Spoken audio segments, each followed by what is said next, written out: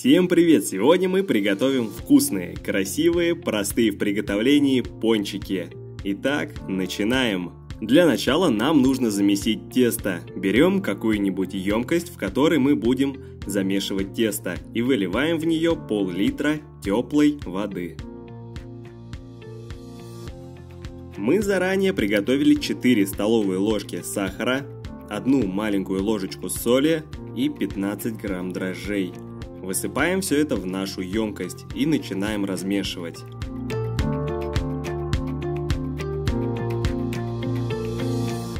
Немного помешали, теперь добавляем туда же 2 столовые ложки растительного масла.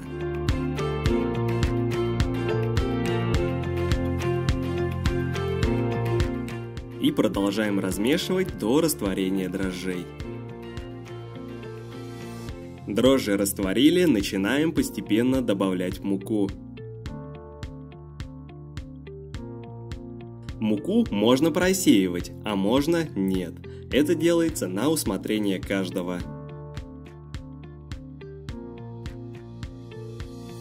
И потихоньку начинаем замешивать наше тесто.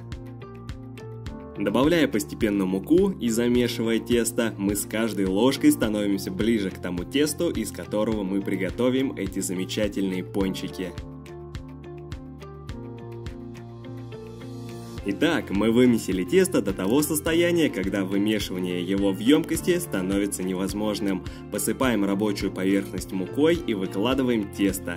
И продолжаем его вымешивать уже непосредственно на рабочей поверхности.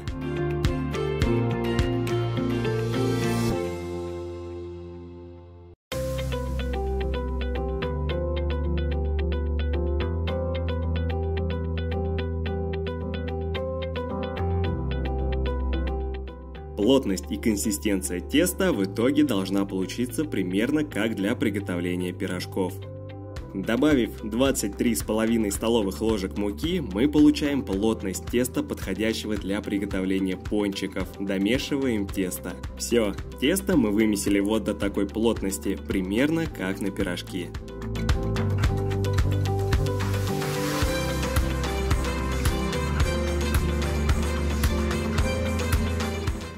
Теперь берем немного масла и смазываем дно и стенки емкости, куда мы уберем тесто настаиваться.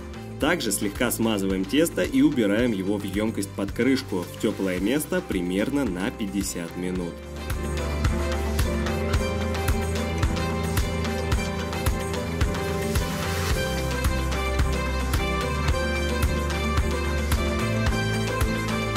Тесто прекрасно поднялось, смазываем рабочую поверхность подсолнечным маслом и достаем наше тесто из емкости и обминаем.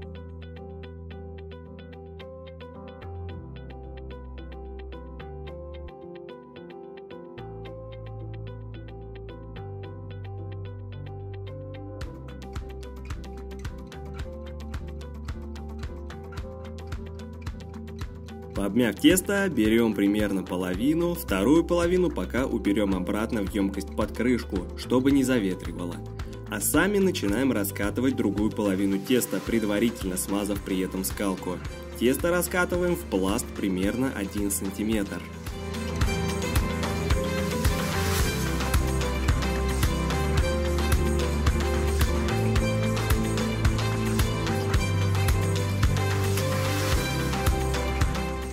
Раскатав тесто в пласт, берем какой-либо предмет, которым мы будем вырезать форму пончиков.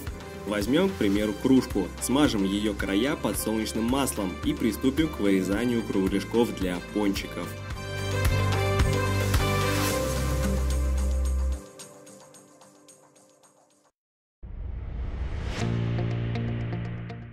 Вырезали. Собираем лишнее тесто, убираем в кастрюлю, ну а сами начинаем вырезать серединки у наших кружочков.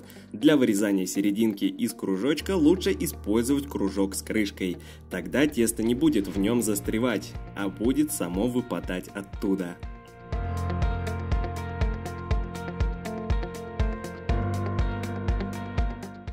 Лишнее тесто мы также убираем обратно в емкость, под крышку. Откладываем наши будущие пончики в сторонку, для того, чтобы они немного настоялись.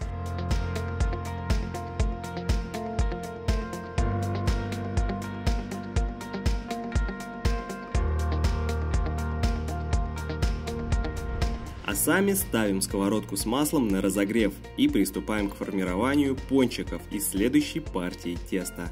Сковорода с маслом разогрелась. Выкладываем наши будущие пончики на сковородку.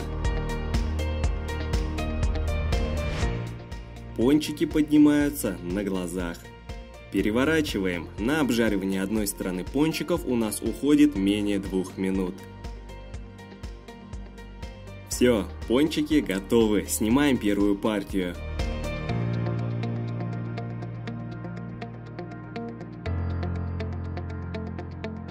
Пока пончики горячие, посыпем их сахарной пудрой.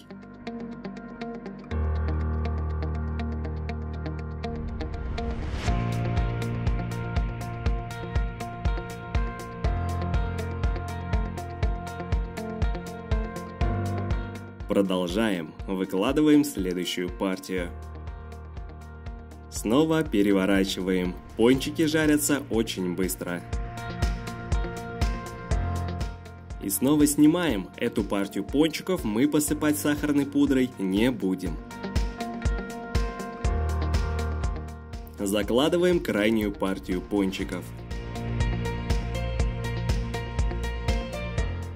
Переворачиваем. Снимаем. С этого количества теста у нас получилось 26 пончиков.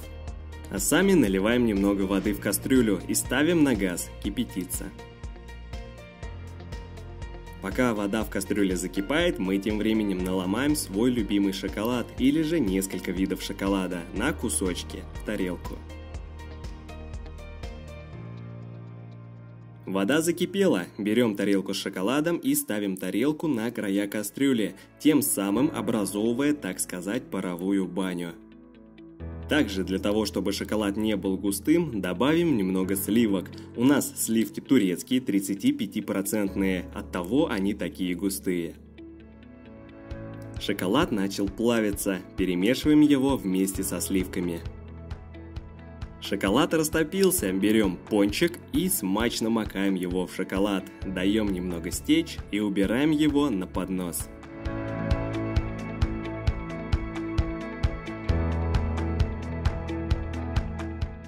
Дальше открывается простор для проб и фантазии. Например, сверху пончики можно посыпать сладким конфетти или же кокосовой стружкой, или еще чем-нибудь.